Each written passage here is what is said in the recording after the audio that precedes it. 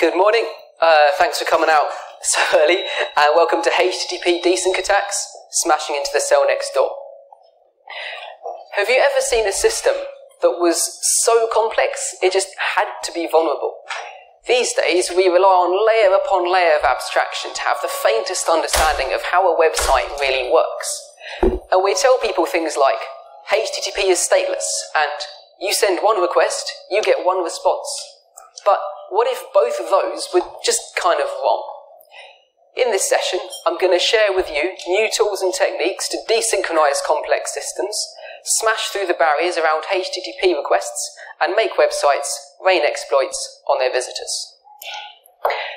During some research last year, I came up with a theory, which was if you're trying to select a topic to research, then the best topic is the one that makes you the most nervous. And this year I thought, okay, I'm going to try this theory out. So I asked myself, what topic am I personally really scared of trying out? And the answer was HTTP request smuggling. I saw a presentation on this called Hiding Wookiees in HTTP three years ago at DEF CON, and it was a thrilling presentation, but it also left me kind of too nervous to tackle this topic myself. One reason is that this technique was first documented way back in 2005, and yet I'd never seen it successfully used on a real website.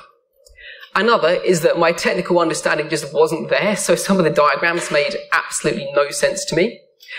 And also, there were some kind of worrying statements on some of the slides. One of them said, you will not earn bounties using this technique. And another said, you will certainly not be considered like a white hat if you even try and find out if a live website is vulnerable because this technique is so dangerous.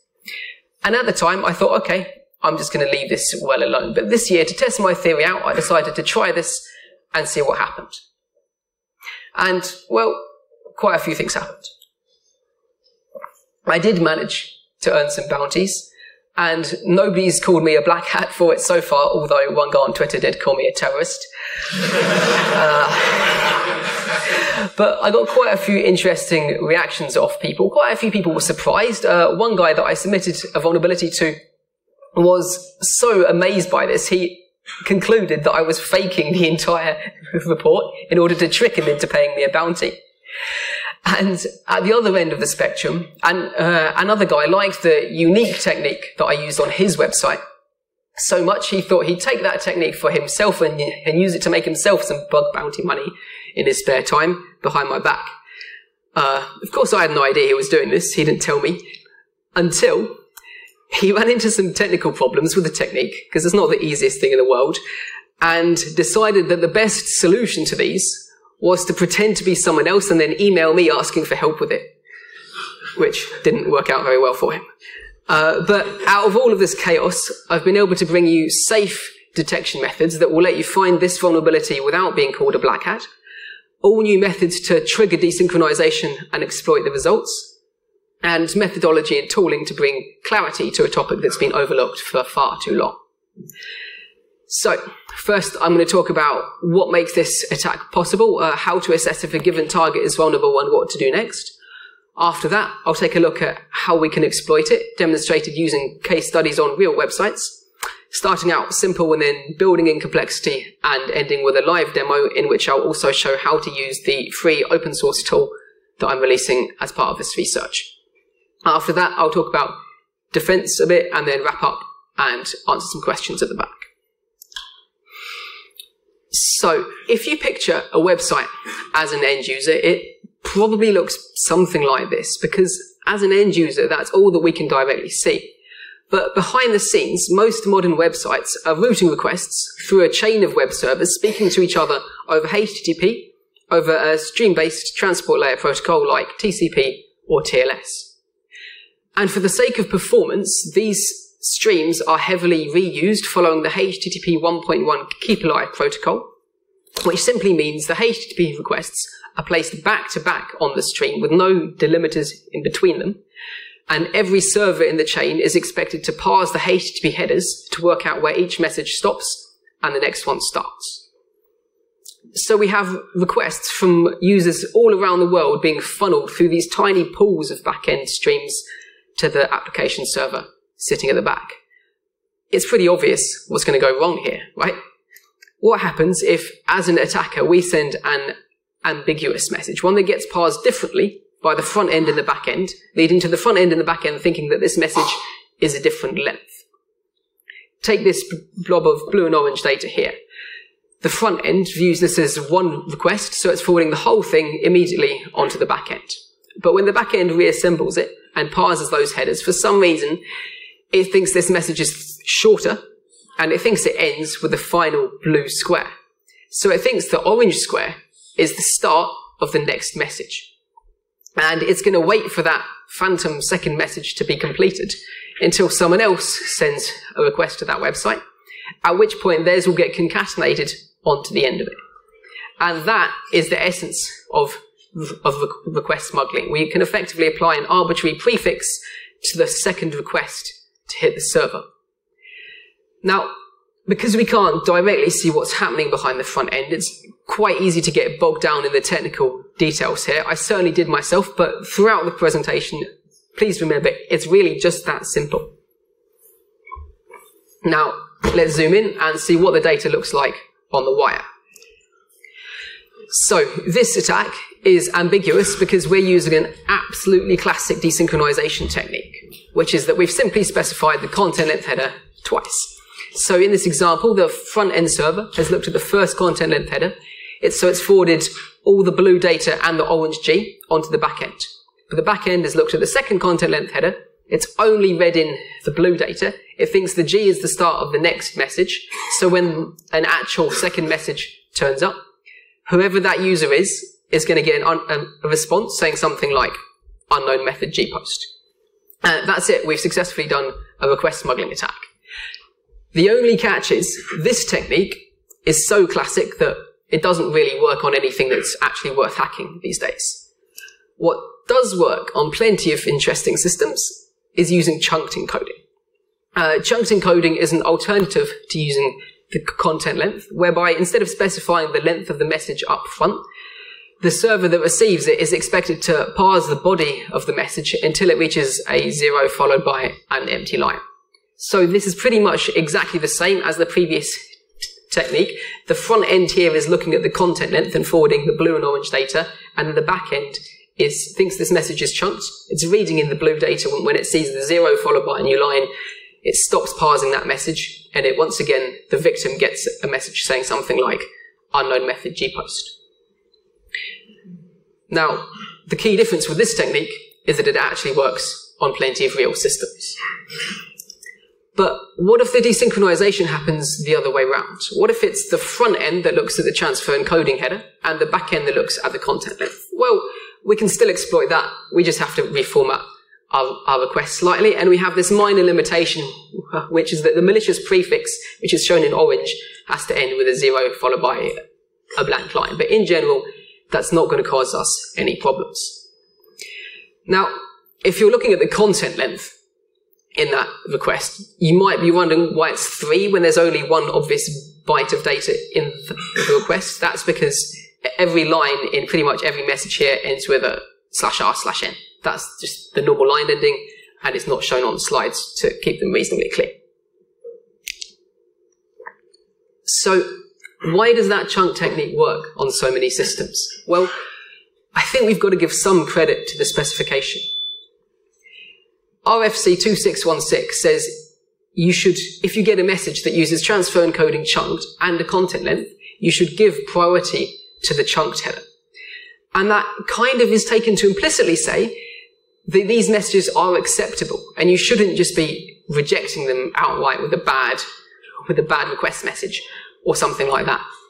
And so all you need in a chain of web servers is one server that doesn't support chunked encoding, and that will fall back to using the content length, and you'll be able to, to desynchronize them. So that technique by itself lets you desynchronize and do request smuggling on tons of systems, including at the time I found it, pretty much every single website using the content delivery network, Akamai.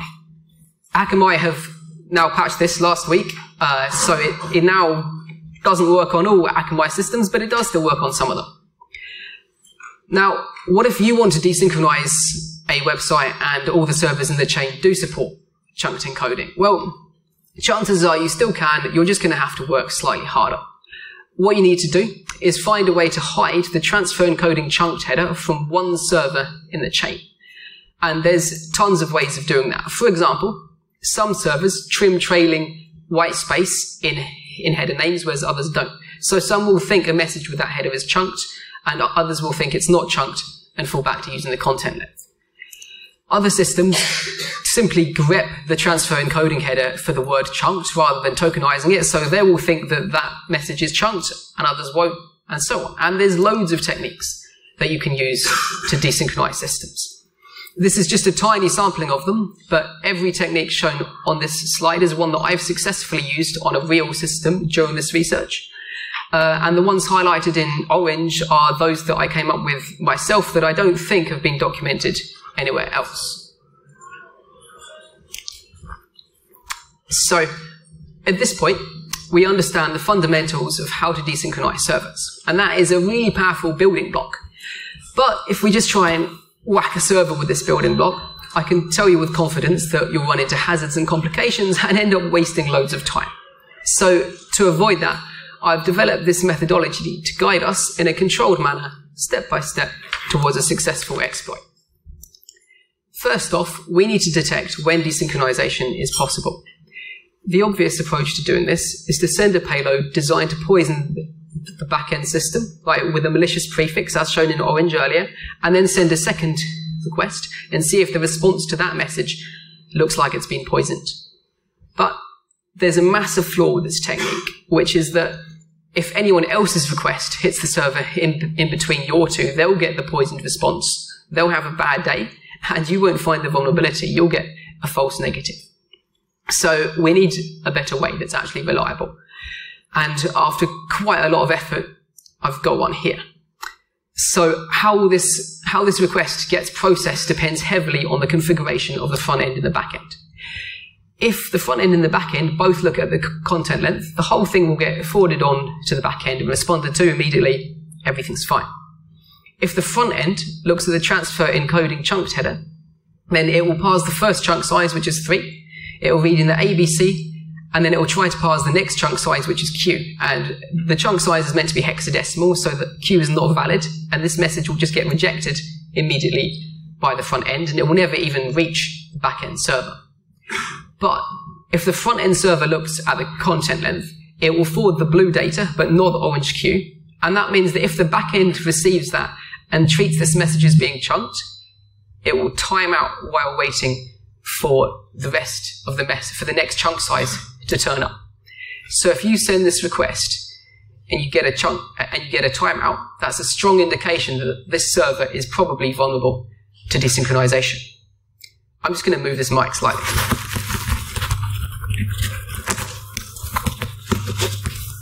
Right, hopefully that's going to be less noisy.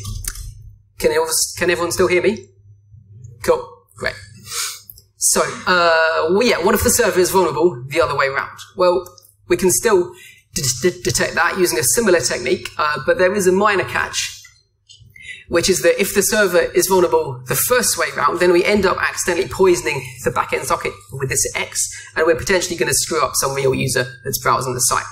So with this strategy, it's important to always try the technique on the left first to make sure that you don't do any harm. But as long as you stick to that, trying out these techniques on live websites is more or less completely safe and should definitely theoretically have no repercussions on real users.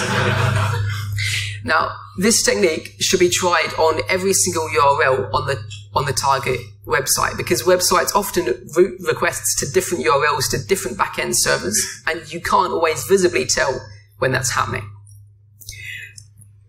and to help you out with that, obviously that will be pretty tedious. Uh, I've released an open source tool, which is a Burp Suite extension, which works with the free version of Burp and will, and, and will automatically try out that technique for you.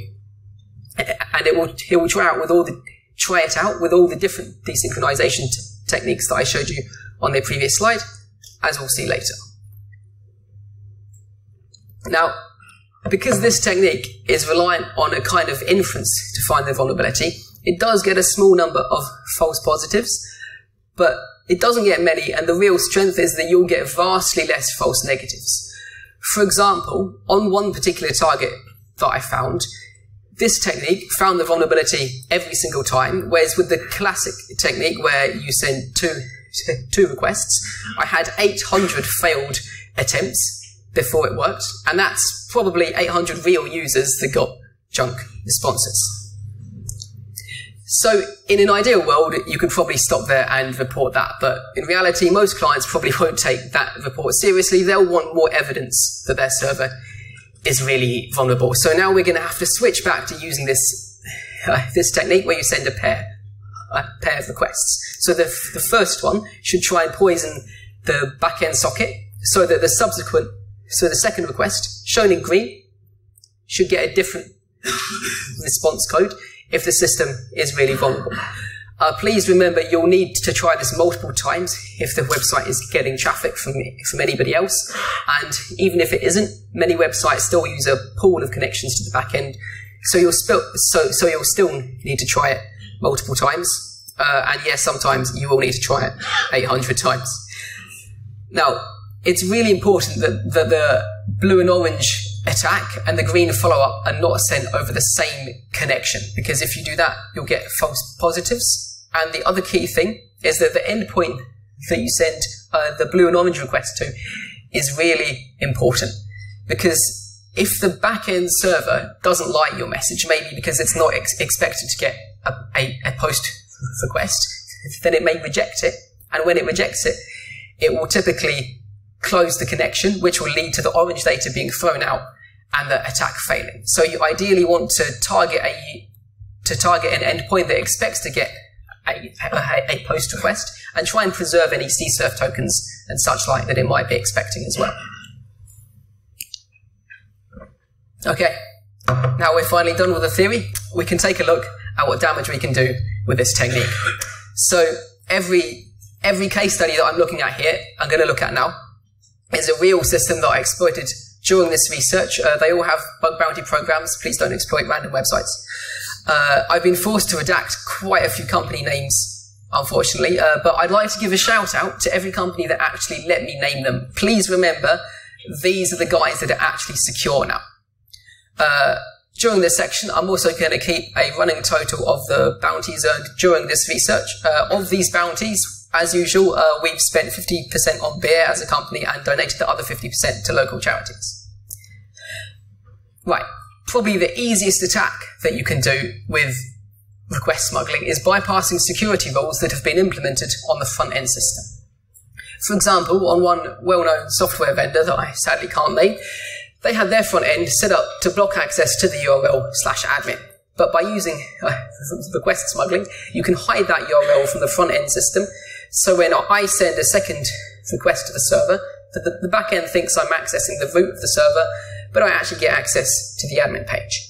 So far, so easy. Now, lots of front ends like to rewrite requests by adding headers into them, and one header that practically every single website uses some variation of is X-Forwarded-For, which just specifies the remote user's IP. On a well-configured system, if you specify that IP yourself directly in a normal request, the front end will rewrite that header or remove it entirely. So you can't just use it to spoof your IP. but using request smuggling, we can bypass that rewriting because the front end doesn't see it as being part, as being a header, uh, and thereby spoof our IP. And using that technique, just by itself, I got an incredible $300 bounty.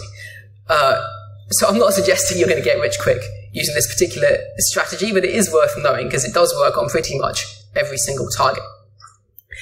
And it also has a slightly less obvious use, which is imagine you have a target where the, where the timing based technique suggests it's vulnerable, but this target gets loads of traffic, so you've effectively got zero chance of getting a poisoned response yourself. How do you prove that's really vulnerable? You've basically got a blind request smuggling vulnerability there.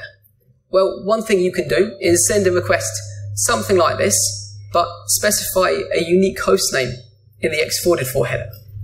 If you get a DNS lookup for that host header, uh, for the X-Forwarded-For header, then that proves that that server is, that the backend is parsing that as a separate message and thereby proves that that target is really vulnerable to request smuggling. Okay. Now, IP spoofing is okay, but a bit boring. The really interesting behavior is going to come from application specific headers. But how can you exploit an application if you don't know the value of these headers? Well, on most sites, you can basically ask the application. So here I'm targeting New, New Relic, who make analytical software stuff, uh, and I've smuggled a login request, and I've made sure that the email address that I'm trying to log in with is the last parameter. So that means when I send the next request, that effectively gets concatenated onto the email address that I'm trying to log in with. And then the server comes back and says, that's not a valid email address, and it, and it reflects the email address I've supplied, and that includes the whole of the, of the second request after it, it's been rewritten by the front end system. So that effectively leaks all the headers that the front end system is putting on to the request. And some of those headers are going to come in useful shortly. So on the New Relic, their backend system was actually a reverse proxy. So by changing the host header, I could get access to different internal systems. But initially, they all just came back with this boring redirect to HTTPS. But by looking at the previous slide, uh, we can see that they're using the X-forwarded proto header, and by sticking that on the smuggled uh, request, I can tell the server, yep, I'm using HTTPS, you can trust this, and then we can actually access whatever that internal site is. So I went hunting for some interesting content uh, and found on a particular URL, we get this really taunting error message. It says not authorized with header. And then there's a colon, but then it doesn't tell me what the name of the header that I'm not authorized with is. So I thought, okay, maybe I can just flick back and try and leak the header. Uh, and I thought, okay, maybe it's this XNR external service header that we saw, but that actually just makes the problem worse. And at this point, I could have used that technique that I just showed you on loads of different New Relic endpoints until I found the name of this authorization header. But I was getting kind of bored by this point, so instead I cheated and I consulted my notes from last time I compromised New Relic. and that revealed the Service Gateway account ID, and Service Gateway is New Relic admin headers. So using those by accessing a specific internal uh, API, I could access that API as every account on their system as an admin and basically take full control over everything. So I got a decent $3,000 bounty uh, for that, and they patched that with a hotfix, but they said that the root cause was their F5 load balancer, uh, and I don't think that's been fixed. So if you see a system running F5, definitely try this technique out. Now, what we've seen here is with request smuggling, if you're willing to put a bunch of time in, you can often break directly into, into internal systems and have a good time. But there's often much easier techniques focused on attacking other users. For a start, if the application has any way of persistently storing text data, exploitation is really easy. So here I'm targeting uh, Trello, which is a note-taking application and I've, I've smuggled a, a request that's saying, please update my public profile. And I'm going to send that and not send a follow-up. So someone else's request is going to get stuck on the end of it. And then that, and then that effectively gets saved on my profile. So I can just browse to my profile and see the whole of, of this user's request, including their session cookies, regardless of whether they're secure and HTTP only, and just really easy, easily hijack their account. So every time I send that payload, I hijack someone's account with no user interaction whatsoever. Uh, I got a, couple of bounties for that. Uh, on a different site, I found there was no obvious way of storing text data, but they had a support ticket system. So by making the victim's request land in a, support ticket, uh, I couldn't log in and view that, but it got emailed to me later on, and I could hijack their account. Uh, the only limitation with this technique uh, is, is that you can only steal data up to the first ampersand in the victim's request because everything after that is interpreted as being a separate parameter.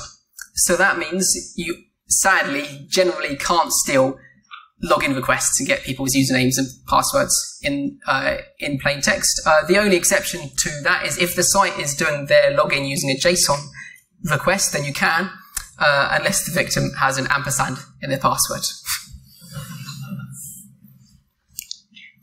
okay, so what if you can't store data? Well, there's a whole other branch of attacks based on causing victims to get harmful responses. So uh, here's, a, here's the most conceptually simple example. On this site, I found some reflected XSS. And reflected XSS is okay by itself, but it's not great for mass exploitation because it requires some kind of user interaction. The victim has to click a link I send them or something like that. But by smuggling the request to trigger the XSS, then some random other person browsing the site is, is going to get the harmful response and get exploited. Uh, the main advantage of this, other than it working, other than it not requiring user interaction, is that this technique works with traditionally unexploitable XSS vulnerabilities like XSS in the user agent header and reflected XSS on post requests that have CSRF tokens and so on. Now, while testing one target, I happened to load their homepage in a web browser with the developer tools open. And this message popped up, which made me nervous because I recognized the IP in that message. And I got this message regardless of what browser I used to load their homepage and what device and what network I connected from. And it turned out, uh, yep, that was my fault. Uh, what I'd been doing was I was trying to trigger a redirect from the server. Uh, and I'd successfully found a prefix that caused the redirect, but someone else's request had snuck in there and they were trying to load this image. So they'd received this redirect. By itself, you know, that's not ideal, but we, have only annoyed one person. Right? Uh, unfortunately, a cache saw this happening. So the cache saw someone try and get this image, which is on the website's homepage, and then they see the redirect to my server coming as the response. and then they save it, and then for several days, anyone that goes to the homepage of that site ends up trying to fetch this image from my server, and I get, and I get quite stressed out. Uh, so if we just hijacked a JavaScript file there, we would have taken full control over, over that website. We could hijack the account of anyone that went to that homepage with no user in, with no user interaction. So on the one hand here, I've shown how easy it is to do cache poisoning with, with request smuggling. It's so easy that you can do it by accident. But on the other hand, it's not really something you want to happen by accident. Uh, so we need to think about how we're going to stop this from happening, or at least reduce the chance of it happening. One way of doing that is to try and craft a prefix that triggers triggers a response that has anti-caching headers. And, uh, and another is that if you've got a choice of, of front ends, like you will have if the front end server is just, is just part of a CDN, uh, try and target a front end in a geographic region that's either that's remote or asleep and is therefore not getting much traffic, and thereby that increases the chance that you'll win the race and you'll get the poisoned response rather than some random other person browsing the website. So that was bad, uh, but that left me wondering what happens if we embrace this possibility. So here, I've smuggled a request that's saying, please fetch me my API key. And it, and when someone else's request gets concatenated onto that, it will be completed with a cookie, which means it'll be completed in their session, and it will fetch that other user's API key. And that user will receive the API key, which is fine, it's their own key, uh, which is harmless. But if a cache sees that happening, and the user was actually trying to fetch some static resource, that user's key ends up being saved in the cache, and then we can just go and grab it uh, if this technique sounds kind of familiar, uh, that's because it's basically just a variation of the web cache deception technique. Uh, the key difference being that this technique doesn't require any user interaction. You're just exploiting a random person browsing the website and you can do it over and over. There's also a small catch, which is that as the attacker, you've got no control over where this user's API key lands on the site. It's just going to land on a random static file, and you're going to have to like browse all of them in order to find it. Uh, So this is the only technique in these slides where I wasn't able to find a live example of it. Uh, that's because you have to log into a site to find this kind of content. And my pipeline that I use to scan to find these, these examples doesn't log in, but I'm pretty sure it's out there and that's roughly the location I would expect you to find it. Now, on New Relic, we saw that their backend was an internal proxy, but some other websites take things one step further and they decide to chain a CDN onto a CDN. Uh, I saw Akamai chained onto Cloudflare, uh, which is insane, but I couldn't exploit that. But these guys had chained Akamai onto Akamai. Uh, I have no idea how or why. But the end result is, if I change the host header in the smuggled request, then I can get the response from anywhere, any website, any page on any website on the Akamai network. And the front end Akamai is happy to save that. So I can basically overwrite their homepage with any content from any website on the Akamai network. Now, while looking at redhat.com itself, I found it was vulnerable to request smuggling and I was looking for a vulnerability to chain with it. And I found this DOM-based open redirect. And this raised an interesting challenge because with, with request smuggling, we control the URL that the backend server thinks the user is on, but we don't con- control the URL in the victim's web browser. So when this get, get query param function is executed in JavaScript in the victim's web browser, that's running on a URL we don't control, and we can't exploit But by finding a local redirect on the target site, there's a server-side redirect, I was able to take control of that URL and basically chain that with the DOM-based redirect to send them to an arbitrary location. Uh, so this is a generic technique that uh, that you can use to make any kind of DOM-based issue exploitable. Now, we've seen local redirects can be useful, but actually quite a few things that are normally local redirects turn into open redirects in the presence of request smuggling. So on this site, uh, it's got a very common behavior that's a default behavior in Apache and some versions of IIS, which is if you try and access a folder without a trailing slash, they'll give you a helpful redirect to put the slash on. And when they do that, the host part of that redirect is populated using the host header. Now, this technique is really predictable, it's really easy, and if you can redirect a JavaScript file, you can hijack accounts, and if you can get that cached, you can hijack everyone's account. So this became my kind of go-to technique for exploiting this, for, for, exploiting this vulnerability, and I got quite a few separate bounties with it. Now, there's a couple of points worth mentioning. Uh, if you get a 307 redirect to your arbitrary location, that's wonderful. Because if a browser is doing a post request, let's say it's trying to log someone in by submitting their username and password, and it gets a 307 redirect, it will resend that data to the new website. So someone's browser, they'll be trying to log in, and then their browser will just send their password to you in plain text, which is fantastic. Also, it's worth mentioning that some thick, some thick, thick clients, like non-browser based HTTP libraries, will also have, have this data reposting on arbitrary status codes rather than just 307. So on New Relic, they had some kind of API based command line uh, client thing, and that was happy to resend its credentials, even though it, I was just using a 301 redirect. So one of the targets this redirect-based cache poisoning stuff worked on uh, was PayPal, which is awesome. So here, if we try and if we send a URL that looked like this, they would respond with a redirect containing my domain. Uh, there were a couple of catches here. One is that my domain would, would, would get concatenated with the domain from the victim's host header, but that was easily worked around by sticking a question mark at the end of the host header.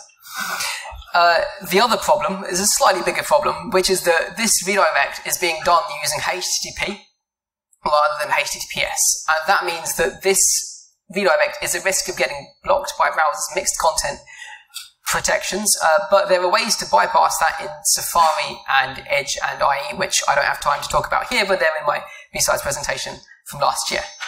So we can exploit people with this using as long as they're using Safari or Edge or IE, and PayPal had a cache. So we could persistently hijack this JavaScript file, and it was being used on PayPal's sign-in page.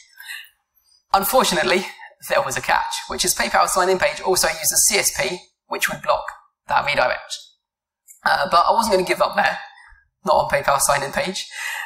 And I noticed that their sign-in page also loads a different domain inside an iframe. And this URL is on c.paypal.com and it also loads my Poison JavaScript file and it doesn't have CSP. So that means I can hijack that iframe. But I can't just read the user's password out of the parent page because the same origin policy would block that because I'm not on the same domain. But my colleague Gareth Hayes spotted paypal.com slash us slash gifts, which was a static page on PayPal, and it didn't use CSP, and it did import my malicious JavaScript file. So I could first hijack the iframe on c.paypal.com and then redirect the iframe to paypal.com slash us slash gifts, re-hijack it on that domain, and then I was same domain with the parent, so I could just grab the user's PayPal password and send it off to my website. Uh, and I got a $19,000 bounty for that.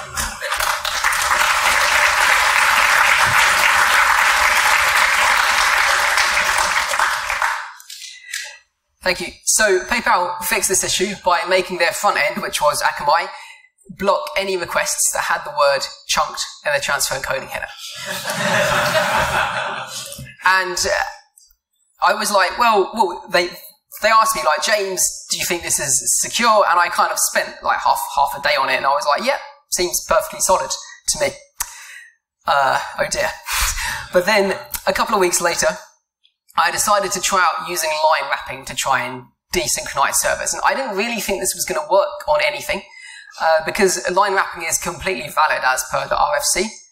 And yeah, it didn't work on anything directly. But what it did do was make the word chunked invisible to Akamai, so they, they let the, the, the request through. I could once again hijack PayPal's login page and got another $20,000 bounty, which was really generous given it was kind of my fault in the first place. so at this point, we've seen a whole range of different attacks you can do with request smuggling. Now it's time to attempt the live demo and see what happens. So this is a replica of a real system. It's pretty much an exact replica. So this is Bugzilla. Uh, this typically holds lots of juicy browser zero days that are not visible to the public. And so I, am going to take the request to the home page. I'm going to right click on it and, and click launch smuggle probe. So that option is there because of this open source extension that I've installed. And here we can see all the desynchronization techniques uh, that, it, that it supports. I've turned them all off apart from the one that's actually going to work. So I'm just going to set that running. And now if we look at Flow, which is not part of this extension, but is also free in the App Store, we can see what my extension is actually doing behind the scenes. So you can see it's using this timeout technique that I showed you at the start. And this message is ambiguous. It's causing desynchronization because of this header here. So if we look at the hex view, it's probably too small to see, uh, but this, the, the, the ending of this line ends with 0a, whereas every other line ends with 0d, 0a. So what that means is that the front end server thinks that this whole thing is one header and falls back to using the, uh, the content length whereas the backend system sees that as being a valid line ending and thereby thinks this message is chunked, which means we can desynchronize it, which is why we're getting this timeout. So in theory, if I browse to the uh, target pane, we'll now see it's found this vulnerability. Maybe. Fantastic. Uh, so, and it's attached the evidence showing that it sent this request and it got a timeout. So now if I right click on this request, we've got an extra option, which is smuggle attack this pops open a turbo intruder window and you don't need to worry about any of the content here except this prefix variable. So this is the malicious prefix that will get a, that will that will get applied to the next request. Uh, and the tool will automatically fix up all the offsets and such like for you, which is absolutely horrific to, to do manually. So here we're going to try and make the second request to hit the server get 404. And if I send that, hopefully, yeah, sure enough, we can see we got a 404 here, even though this is identical to this request and that got a 200. Because of the smuggled content, this got a 404. So you can see the smuggled content uh, just here. See? So that proves that this system is vulnerable to request smuggling. Uh, but we just want to prove that you can actually do some damage with it, right? So on Bugzilla, anyone can register an account and file a bug. And on a bug, they can put an attachment, and the attachment can contain HTML. But this is actually safe, because if you look here, this site is on bmoweb.vm, but as soon as I try and load a suspicious attachment, I end up on bmosandbox.vm, which means that the malicious JavaScript I've got there doesn't actually work because of the same origin policy. Uh, so that by itself is completely harmless, but maybe we can take advantage of that behavior. So I'm going to take the request to load that attachment from BMO sandbox.vm, and I'm going to use that as my malicious prefix here. So it's important to leave this xignore header on the end because the victim's request is going to get stuck directly like on there, like like that, and if that lands on the host header, then it will just break the request.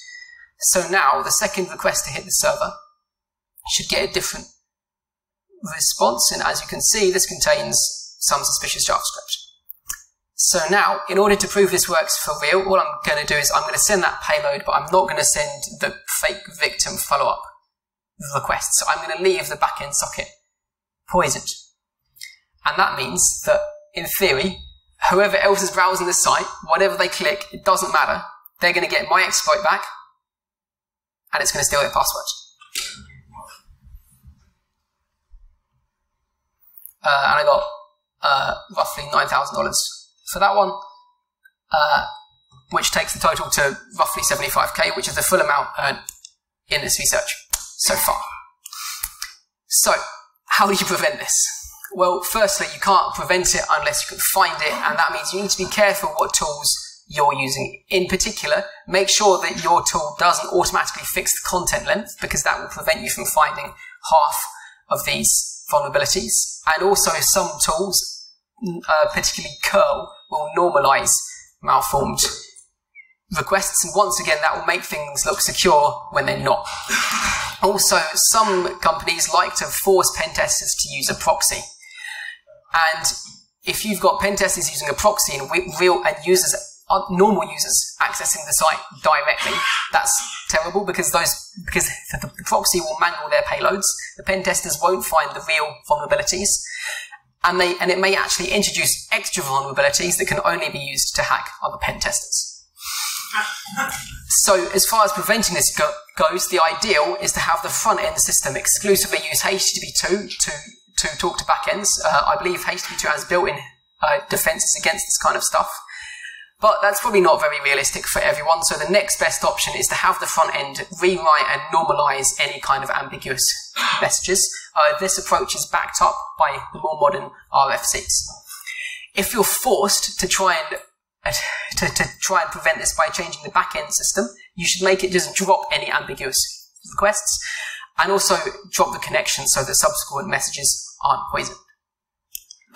There's loads of further reading on this topic. Uh, probably the most noteworthy thing is this year we've released a whole bunch of online labs, so you can test out real live systems that are that are vulnerable to these techniques in relative safety and kind of get familiar with the vulnerability for yourself. The three key things to take away are that HTTP request smuggling is real. It doesn't matter how scary it is, it definitely exists. HTTP 1.1 parsing is a security critical function and it should always be audited in, uh, in web servers. And if you're using some kind of obscure web server, you should be really careful. And finally, detection doesn't have to be dangerous. I'm going to take five minutes of questions now, maybe, just about. Uh, yep, cool. And if you have any more after that, just come and speak to me at the back or send me an email. Don't forget to follow me on Twitter. Thank you for listening.